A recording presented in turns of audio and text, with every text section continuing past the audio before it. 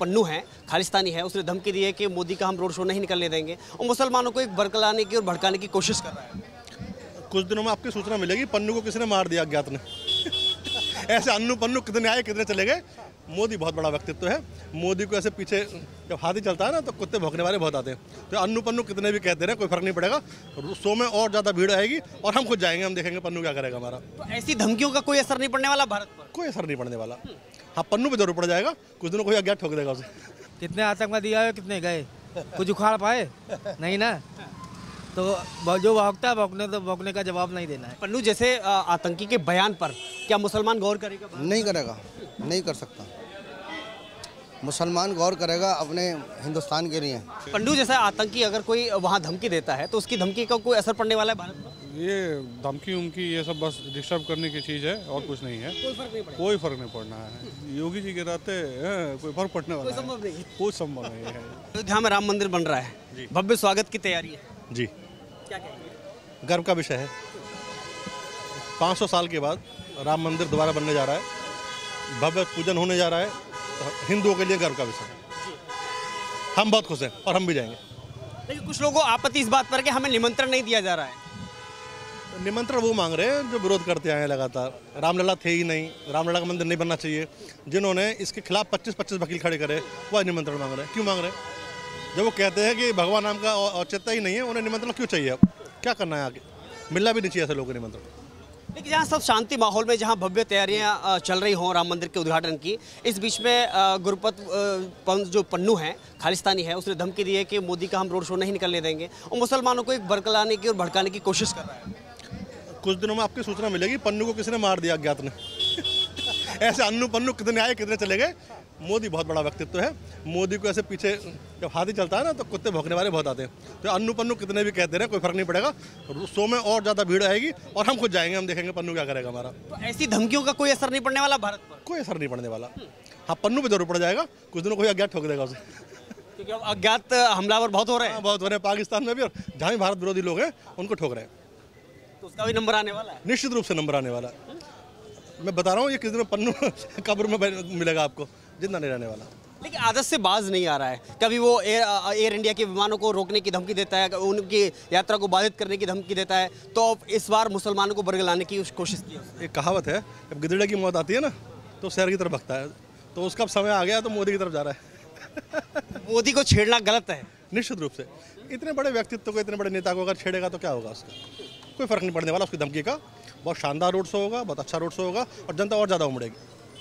जिस हिसाब से मोदी सरकार इसका शेयर लेना चाह रही है तो क्या शेयर मिलना चाहिए? क्योंकि अभी कुछ कह रहे थे कि भाई राम भक्तों की देन है, इस पर सरकार शेयर न ले। सरकार श्रेय लेना नहीं चाह रही। सरकार को श्रेय मिल रहा है।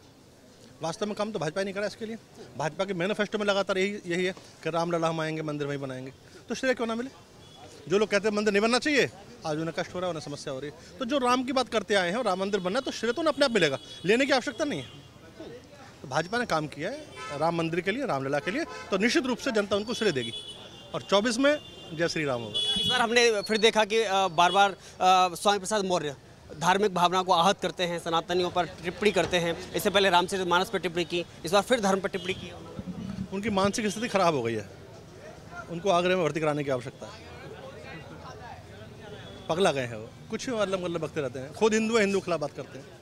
तो उनके ज़्यादा कुछ ना कहना चाहिए उनकी मानसिक स्थिति को चेक कराना चाहिए कि अस्पताल में जाना चाहिए। क्या करेंगे? क्या नाम है लेखराज माहौर मैं भी गाजियाबाद से हूँ। अभी आपने एक सवाल किया था कि आपको निमंत्रण आया है क्या? हमें निमंत्रण नहीं आया। हम खुद जा कर के एक जनवरी से पंद्रह जनवरी तक अभियान चलाने वाले हैं। घर घर जाएँगे हम। राम भक्तों से निवेदन करेंगे। हमारा 500 साल बाद 500 वर्ष बाद हमारा भव्य मंदिर बन रहा है। आप उसमें शामिल होइए चलिए। रामला के दर्शन कीजिए आशीर्वाद लीजिए। हम घर घर जाएँगे। एक जनवरी से पंद्रह जनवरी तक का हमारा अभियान है। हम घर घर जाएँगे। अक्षत जो राम मंदिर से हमारे पास आए हैं हम उनको बांटने का काम करेंगे। सभी माता बहनों से सभी से बुज़ुर्गों से चलने का आह्वान करेंगे। देखिए उसी भव्य कार्यक्रम में पन्नू जो खालिस्तानी है वो खलल डालने की कोशिश कर रहा है। वो उसने धमकी दी है रोड शो को बाधित करने की। देखिए ऐसा आप देखेंगे पास्ट में भी देखेंगे ना तो इस तरह के लोग अपने आप को मशहूर करने के लिए करते आए हैं। ऐसा इनसे कुछ नहीं फ़र्क नहीं पड़ने वाला। कोई फ़र्क नहीं पड़ने वाला। और आज जो भारतवर्ष का जो मुस्लिम है ना, शिक्षित है, पढ़ा लिखा है, जागरूक है, वो सब समझता है कि ये बयानबाजी किस लिए की जा रही है। राम मंदिर बनेगा, ये गर्व का विषय हम सभी के लिए, भारतवासियों के लिए। और बनना भी चाहिए, क्योंकि राम मंदिर भारत में नहीं बनेगा तो कहाँ बनेगा? देखिए, पन्नू जैसे आतंकी की धमकी का क्या असर पड़ने वाला कोई कोई असर नहीं पड़ने वाला। कोई फ़र्क नहीं पड़ने वाला। कोई फ़र्क नहीं पड़ने वाला। राम भक्त घर से निकलेंगे पहुँचेंगे कार्यक्रम में शामिल होंगे भव्य कार्यक्रम होगा। लेकिन शफीकुर रहमान एक बार फिर कह रहे हैं कि 22 तारीख को ही हम चाहते हैं कि वहाँ बाबरी मस्जिद ही बने। अब मैंने अभी थोड़ी देर पहले कहा ना जी वो सब अपने आप को मशहूर करने के लिए अपने व्यक्तित्व को निखारने के लिए बयान दे रहे हैं इनके खिलाफ। और वैसे जैसे जो लोग सपना देख रहे हैं एक बार बाबरी मस्जिद वहाँ थी है और रहेगी क्या तक रहेगी। कभी जब आपके हमारे बच्चे आएँगे तो कभी कहेंगे हाँ कभी हुआ करती थी बाबरी मस्जिद। वो सब चीज़ खत्म हो गई अब। सुप्रीम कोर्ट का आदेश है। सुप्रीम कोर्ट के आदेश से ये आपका राम मंदिर बन रहा है। लेकिन इस मामले को लेकर के हिंदू मुसलमान पे एक जो आता है कि भाई तुष्टिकरण की राजनीति भाजपा कर रही है जो आरोप लगता है क्योंकि एक तरफ़ मंदिर भव्य बन रहा है लेकिन मस्जिद का काम अभी तक शुरू नहीं हुआ है। देखिए ये मंदिर निर्माण होगा बनेगा और दूसरा ये है कि यदि आप मुस्लिम पक्ष की बात कर रहे हैं तो हमारा मुस्लिम इतना शिक्षित हो चुका है उनको मालूम है कि कोर्ट का क्या आदेश है क्या नहीं है। उनको मालूम है वो उसी हिसाब से अपना काम कर रहे हैं। यहाँ कोई ना कोई आहत हो रहा है ना कोई बरगलाने का काम कर रहा है ना कोई भड़काने का काम कर रहा है। ना ही ये लोग भड़कने वाले हैं इनको मालूम है। और अ, मंदिर बनाया तो मस्जिद भी बनेगी ऐसा क्या है? हम सामंजस्य रखने वाले व्यक्ति हैं ऐसा नहीं है। मंदिर निर्माण का श्रेय आप सरकार को देना चाहेंगे? बिल्कुल देना चाहेंगे। उन्होंने त्याग किया है तपस्या की है बलिदान दिया है संघर्ष किया है। इसलिए उनको इसका श्रेय मिलना ही चाहिए। इसका लाभ मिलेगा उन्हें? हाँ बिल्कुल दो हज़ार चौबीस में सरकार बनेगी मोदी 400 प्लस आने वाले हैं। लाभ मिलेगा। बिल्कुल। दो हज़ार चौबीस में लाभ मिलेगा बहुत सारे लोग हैं यहाँ पर। सर क्या हुसैन कामा जी सर, क्या कहेंगे साहब चाय का आनंद ले रहे हैं जी। शर्मा जी की चाय का आनंद ले रहे जी बिल्कुल। हैं अयोध्या में राम मंदिर बन रहा है। देखिए मंदिर और मस्जिद दिल में है। मस्जिद और मंदिर दिल में है। पूजा करने के लिए तो दिल ही काफ़ी है। इबादत करने के लिए दिल ही काफ़ी है। जनता को जो है वो चाहिए भरपेट भोजन रोज़गार और महँगाई चरम सीमा पर है। आज की तारीख। में ठीक है मंदिर एक आस्था का स्थान है होना चाहिए। लेकिन अकेले मंदिर के लिए पूरे देश की जनता को बेवकूफ़ बनाना ये एक धोखा और छलावा है। मस्जिद भी बन रही है ना उधर? मैंने क्या कहा मस्जिद और मंदिर हर किसी के दिल में है। जो ज़मीन पे है उसका कोई अर्थ नहीं है? नहीं ज़मीन पर हर किसी के घर के पास है हमारे भी घर के पास है। हमें अयोध्या जाने की ज़रूरत है हमारे घर के पास मस्जिद है। उस मंदिर का कोई महत्व नहीं है? हर किसी के घर के पास मंदिर है घर के अंदर मंदिर है। जिसके घर के अंदर मंदिर है वो अयोध्या क्यों जाएगा? पन्नू खालिस्तानी जो आतंकी है उन्होंने धमकी दी है कि मोदी का जो रोड शो निकल रहा है उसे हम नहीं निकलने देंगे और मुसलमानों को बरगलाने की कोशिश की है। तो क्या आप उनके बहकावे में आएँगे क्या? नहीं बिल्कुल नहीं आ सकते सब अफवाहें हैं। देखिए ऐसा है सरकार से ज़्यादा बड़ा कोई नहीं हो सकता। जी। किसी आतंकी की किसी बदमाश की किसी गुंडे की कोई हिम्मत नहीं। सरकार से ज़्यादा बड़ा कोई नहीं हो सकता। अगर कहीं भी कुछ होता है तो वो सरकार की चूक से और उसकी लापरवाही से होता है। तो अगर ऐसा कुछ सरकार को लग रहा है तो उस पर शक्ति करे निगरानी रखे और अगर कहीं चूक हो रही है तो सरकार जो है वो विफल है। नहीं पन्नू जैसे आतंकी के बयान पर क्या मुसलमान गौर करेगा? नहीं करेगा नहीं कर सकता। मुसलमान गौर करेगा अपने हिंदुस्तान के लिए। मुसलमान जो है, सन 1965 में पाकिस्तान और हिंदुस्तान की जो जंग हुई थी, उसमें हिंदुस्तान के ही मुसलमान ने जाकर के पाकिस्तान के टैंक उड़ाए थे। उसे अपने हिंदुस्तान से प्यारा कुछ नहीं है। आज ही अगर किसी भी मुल्क से जंग हो जाए तो सबसे ज़्यादा हम लोग आगे आने के लिए तैयार हैं। लेकिन शफीकुर रहमान फिर भी कह रहे हैं कि 22 तारीख को हम वहीं पर बाबरी मस्जिद बनते हुए देखना चाहते हैं? राम मंदिर वाली जगह। नहीं ऐसा है वो नेता है।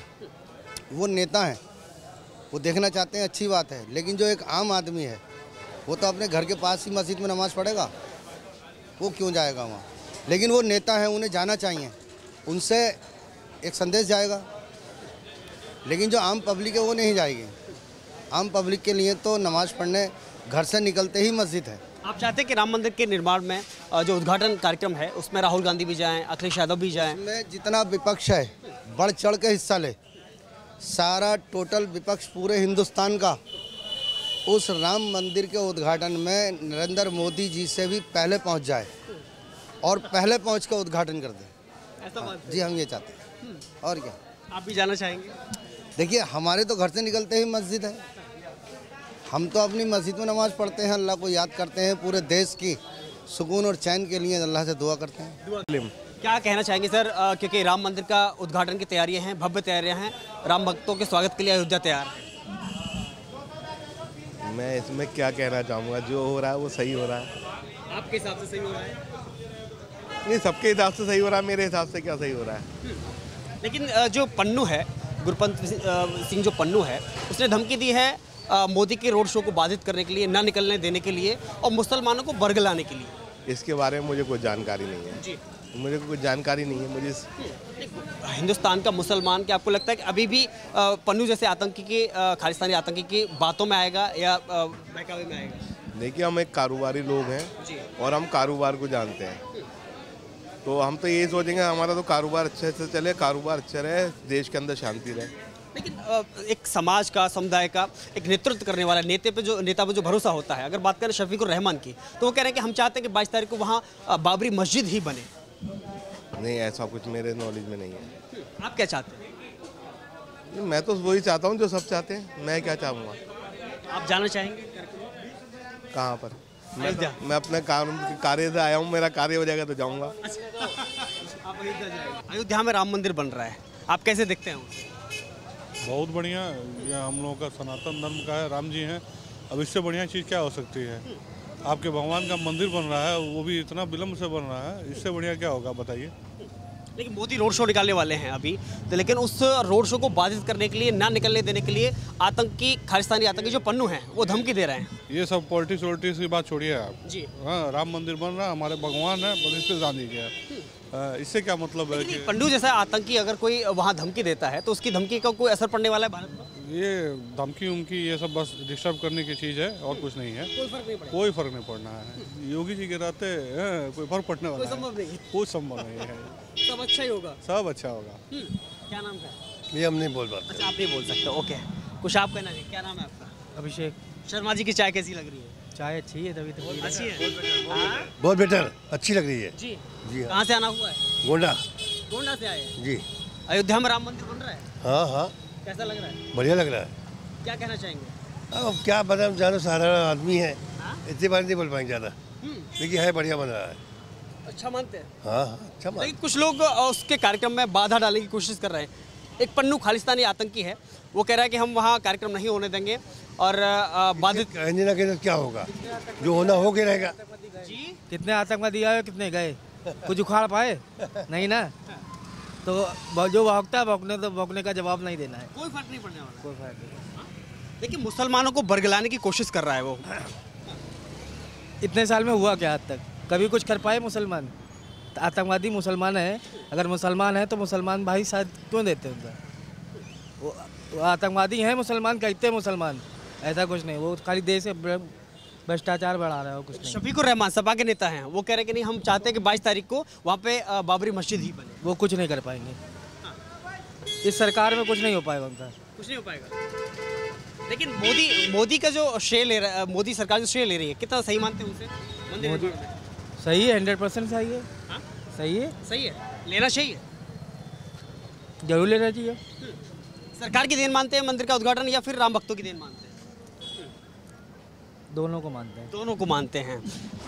सर क्या नाम आप है बैठो। आपका? हमारा नाम है सईद अफजल। जी कहाँ से रहने वाले यही प्रॉपर लखनऊ। अरे वाह लखनऊ के नवाब कह सकते हैं।